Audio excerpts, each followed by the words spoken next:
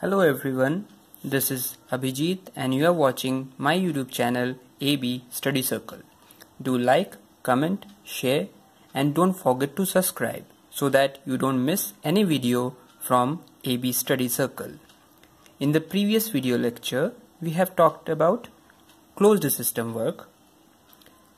Now in this video lecture, we will discuss about open system work or commonly known as flow work. Open system work or flow work. In closed system work, we have shown that work done is integral PDV. But for open system work, the work done is equal to minus integral VDP right? Now if we draw this on a PV plot then the area under the curve projected on pressure axis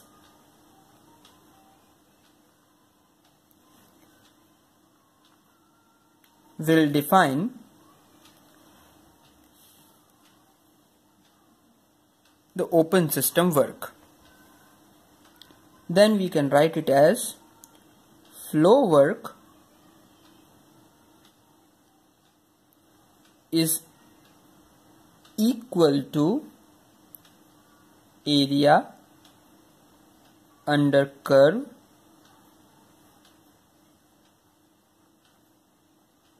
projected on pressure axis on PV plot.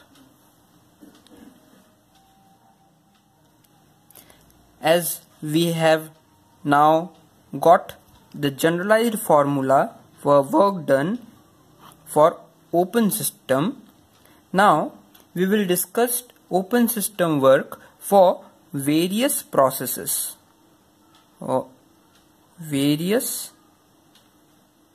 processes.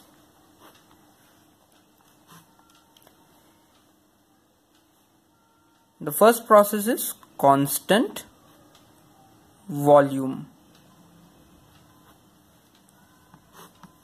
First we will draw the PV plot for this process.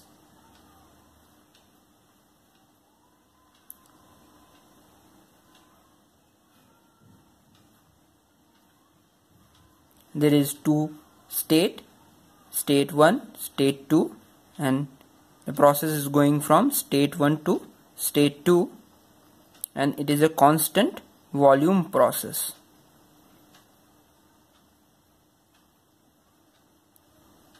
So volume is constant and when we project this on the pressure axis the area under this will provide us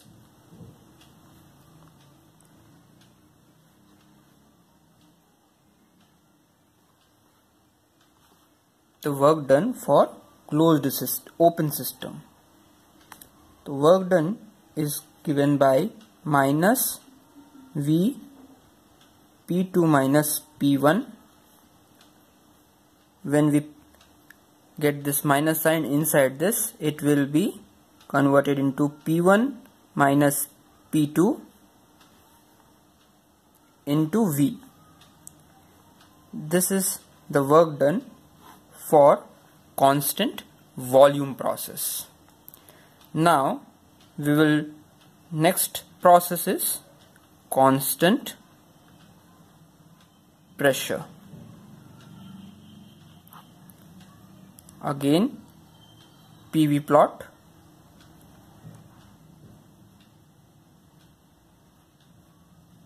as it is a constant pressure then on the pressure axis the pressure will be constant. P1 minus P, P1 is equal to P2 is equal to P. The process is going like this way. Then the corresponding volume will be V1 and corresponding volume will be V2 for state 2. Now as the generalized formula for open system work is W is equal to minus integral V dp and as we know that P is constant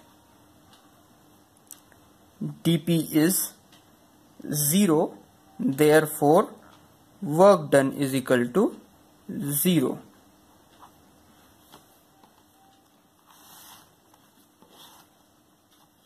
now the third process is isothermal process the generalized formula for open system is W is equal to minus integral V dP right? But the isothermal law is PV is equal to constant which is equal to MRT or it can be written as P1 V1 is equal to P2 V2 that is can be written as mr t1 is equal to mr t2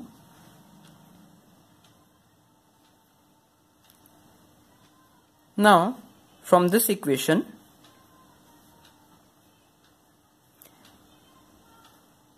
this is equation 1 from equation 1 we can say that v is equal to constant by P or C by P. Now put this in your generalized equation or equation A. Now A becomes W is equal to minus integral P1 P2 we are changing this V by C by P dP now we have uh, this is a constant this is a variable and this is differentiation of that variable. So we can write it as C ln natural log P P2 P1 or it can be written as minus C ln P2 minus ln P1 or when we put this minus sign inside this then it will become as C ln P1 minus ln P2 now as the C is constant then we can write this as W is equal to P1 V1 ln P1 by P2 we have used the concept of logarithm here and we got this formula. The next process is adiabatic process. The work done for adiabatic process for open system is given by integral uh, gamma p1 v1 minus p2 v2 by gamma minus 1 the next process is polytropic process. The work done is same as adiabatic just we replace this gamma by n.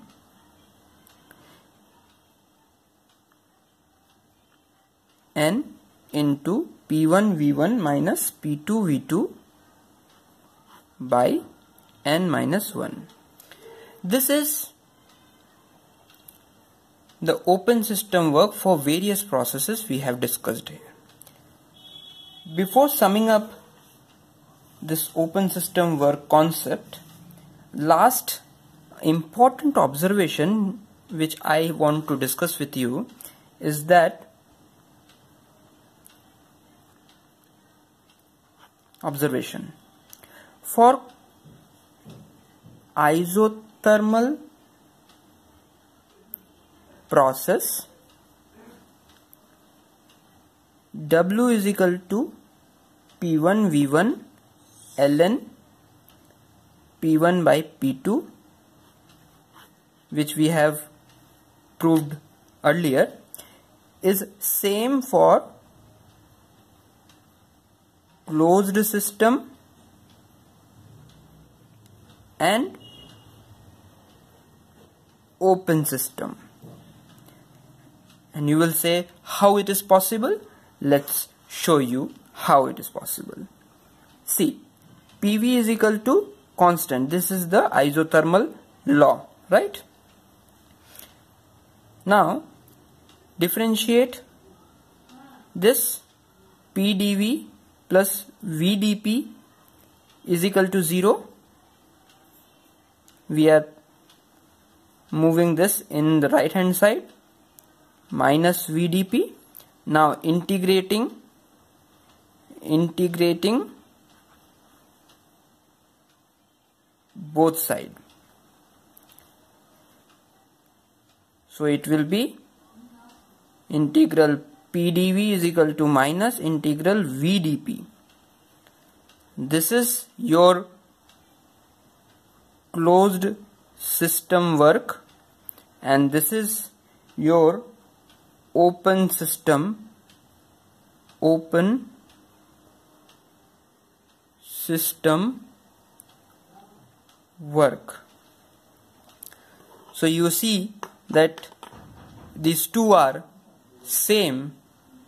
That's why we are getting w is equal to p1 v1 ln p1 by p2 for both closed system and for open system. It is a very important concept. And this is a very good question.